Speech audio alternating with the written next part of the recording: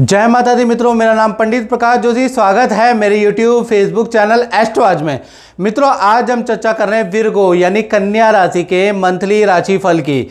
यानी मई का महीना, कन्या राशि का कैसा रहेगा, कैसी रहेगी, धन की, स्वास्थ्य की, उनके परिवार की स्थिति, इसके बारे में चर्चा करेंगे। और 12 साल बाद बृहस्पति का ट्रांजिट वृषभ राशि में होने जा रहा है। और कन्या राशि से नवम में ये ट्रांजिट होने जा रहा है। यानी पूरा एक साल बृहस्पति देव कन्या राशि को मालामाल करने वाले हैं। इसलिए जो ये ट्रांजिट हो रहा है नवम भाव में, जो बृहस्पति आपके नवम भाव में आ रहे हैं, सभी कन्या राशि को इनको प्रणाम करना चाहिए, हाथ जोड़ के इनको प्रणाम करें, इनसे इनका अभिवादन करें, क्योंकि ये जो बृहस्पति हैं, आपका कल्याण करने वाले हैं। नवम भाव में जो बृहस्पति है, शास्त्र में लिखा है, नवमे गोचरे जीवा विजय सिद्धि दायका। यानी नवम में जब भी बृहस्पति आते हैं तो पावर का रुतबा बढ़ा देता है। यदि आप कला के सेक्टर में आप मेडिकल सेक्टर में आप वकील, डॉक्टर है तो आपके लिए बड़ा लाभकारी है। या आप विदेश से संबंधित कोई काम करना चाहते हैं अप्लाई करना चाहते हैं तो इस बृहस्पति को नमन कीजिए, यही आपके काम बनाने वाला है। क्योंकि पूरा एक साल ये कहीं ना कहीं आपके लिए लाभदायक है। और जो जनरल लोग हैं, जो कोर्ट कचहरी में फंसे हैं, जिनका सरकारी कोई मामला पेंडिंग चल रहा है, उनके लिए भी ये बड़े लाभदायक है। यानी कि कोर्ट केस और सरकारी पेंडिंग में आपका फैसला यही कराने वाले हैं। नवम में जब भी बृहस्पति बैठते हैं तो कहीं ना कहीं न्यायाधीश हो जाते हैं। तो आपके न्यायाधीश हैं, इनको प्रणाम ज़रूर कीजिएगा।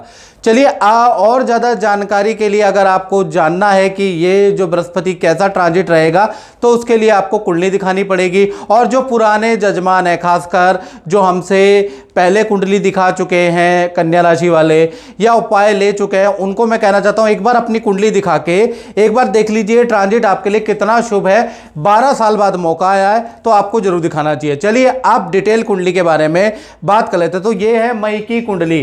केतु जी आपके लगन भाव में बैठे हैं एज यूजल चंद्रमा थोड़े छीण होकर पंचम भाव में बैठे हैं, और छठे भाव के अंदर शनि विराजमान है। सप्तम भाव के अंदर मंगल, बुध और राहु बैठे हैं। एक अंगारक दोष बन रहा है। ये पूरा मई आपको परेशान कर सकता है। सूर्य उच्च के बैठे हैं अष्टम भाव में शुक्र के साथ में और गुरु तो नवम भाव में एक मई को आए हैं। चलिए, सबसे पहले हम स्वास्थ्य के बारे में बात करते हैं। क्या कहा जाता है ना, जान है तो जहान है। तो कन्या राशि का, मई का स्वास्थ्य दो भागों में बटेगा। एक तारीख से तेरह मई तक भाई स्थितियाँ बहुत अच्छी नहीं है। कहीं ना कहीं आपकी राशि का बुध अंगारक दोष में फंसा है। यानी मंगल बुध और राहु की युति बहुत अच्छी नहीं है, तेरह मई तक। तो तेरह मई तक पैर में अचानक चोट लग सकती है। किसी से बड़ा तगड़ा लड़ाई, वाद, विवाद, झगड़ा हो सकता है। झगड़ा इतना बढ़ सकता है कि पुलिस स्टेशन थाने के चक्कर भी लगाने पड़े।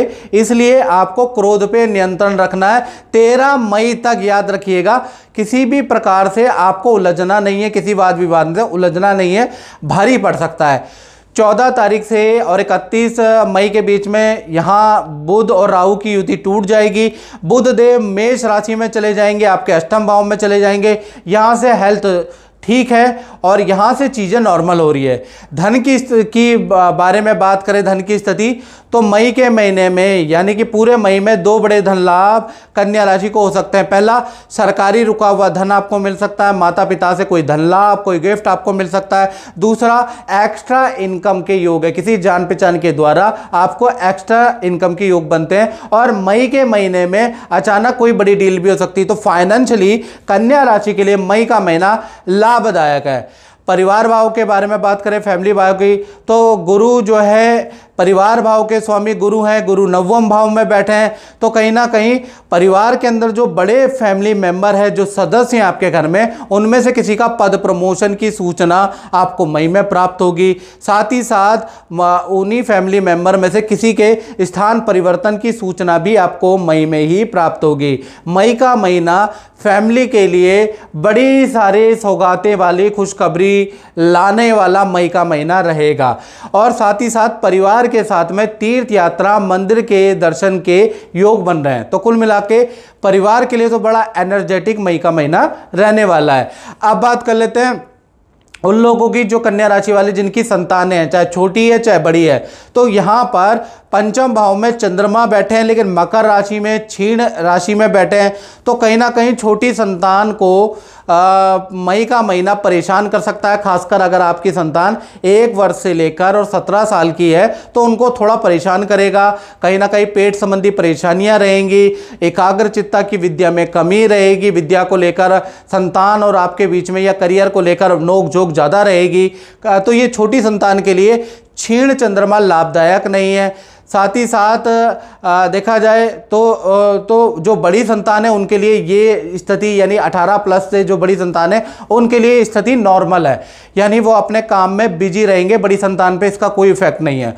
अब बात कर लेते हैं विद्यार्थी, स्टूडेंट के बारे में तो मई का महीना, यानी पूरा मई का महीना नॉर्मल फलदायक रह सकता है। साथ ही साथ नॉर्मल तो रहेगा ही, जैसे खा रहे हैं वैसा खाएँगे, जैसा पढ़ रहे हैं, पढ़ रहे हैं। लेकिन दो घटनाएँ फिर भी हो सकती है स्टूडेंट की लाइफ में। पहला माता पिता से किसी टॉपिक को लेकर वाद विवाद हो सकता है। दूसरा, लोहे की वस्तु पर भाई आपका खर्चा हो सकता है। तो दो घटनाएँ आपकी बन रही है। साथ ही साथ, आप बात कर लेते हैं कन्या राशि वाले, उनकी जो नौकरी करते हैं तो पूरा मई का महीना दो भागों में बढ़ जाता है। एक तारीख से लेकर दस मई के बीच में देखा जाए तो किसी से बहस कन्या राशि वालों की हो सकती है। काम में छोटी मोटी गलतियाँ होती रहेंगी होती रहेंगी। एक बार में कोई आपका काम दस मई तक होगा ही नहीं। एक छोटे से काम के लिए दस चक्कर आपको लगाने पड़ सकते हैं। ऐसा योग नज़र आ रहा है। ग्यारह तारीख से इकतीस मई के बीच में सब कुछ नॉर्मल हो जाएगा, बैक टू रूटीन हो जाएगा। बस ये दस दिन थोड़ा परेशानी वाले नौकरी में हैं। अब बात कर लेते हैं कन्या राशि की दाम्पत्य जीवन की। तो दाम्पत्य जीवन यानी सप्तम भाव में मंगल, राहु और बुध तीनों ग्रह कुंडली मार के बैठे हैं। यानी अंगारक दोष पूरे मई के महीने में बैठा है। तो पहले हम प्रेमी, प्रेमिका, लव कपल के महीने में बात करेंगे। तो मई का महीना बहुत अच्छा नहीं है लव कपल के लिए। एक तो आपस में बड़ा वाद विवाद रहेगा और आपके पार्टनर का वाहन या बिजली पे खर्चा भी मई के अंदर रहेगा। तीसरा, आपके पार्टनर की हल्की सर्जरी हो सकती है, जैसे दांत की या हल्की सर्जरी या चोट लगने के आपके पार्टनर के योग बनते हैं। बात करें पति पत्नी के लिए तो यहाँ भी अंगारक दोष बना हुआ है। यहाँ भी देखा जाए तो बहुत अच्छा फल नहीं मिलेगा। तीन, दो बैड न्यूज़ मिलेंगी। पहला देखा जाए तो पार्टनर के, आपके परिवार से बड़ा वाद विवाद मई के महीने में सामने आएगा। आपके भाई से आपके पार्टनर के वाद विवाद आपकी बहन से, आपके माता पिता से काफ़ी वाद विवाद रह सकते हैं। क्यों? अंगारक दोष बन रहा है। साथ ही साथ आपके पार्टनर को काम संबंधी भी परेशानी में, का सामना मई में करना पड़ेगा। काम से संबंधित आपके पार्टनर को बैड न्यूज़ मिलेगी। तो चाहे प्रेमी प्रेमिका हो पति पत्नी हो मई का महीना अंगारक दोष के कारण अच्छा है ही नहीं। अब बात कर लेते हैं कन्या राशि, उनकी जो व्यापार करते हैं, जो अपना बिज़नेस करते हैं फैक्ट्री चलाते हैं, दुकान चलाते हैं तो यहाँ पर भी अंगारक दोष का परिपूर्ण प्रभाव है। यहाँ पर भी जी हाँ मई का महीना टेंशन भरा रहेगा। व्यापारी दुकानदारों का तीन घटनाएँ हो सकती है। पहला, आपकी डीलें कैंसिल होती जाएँगी मई में, मैक्सिमम लॉसेस आपको मई में ही दिखाई देगा। दूसरा, अब बिजली वाहन पे खर्चा भी आपका मई में ही आ रहा है। सरकारी कामों में बड़ी बाधा का सामना करना पड़ेगा। सरकारी कामों में नोटिस आपको करनी पड़ेगी। आपके चेक बाउंस हो जाएँगे, उसकी भी समस्या है। तो कुल मिला के व्यापार दुकानदार के लिए अंगारक दोष के कारण मई का महीना संघर्षकारी रहने वाला है। तो मित्रों, इस कार्यक्रम में इतना ही। मुझे दीजिए जय माता दी।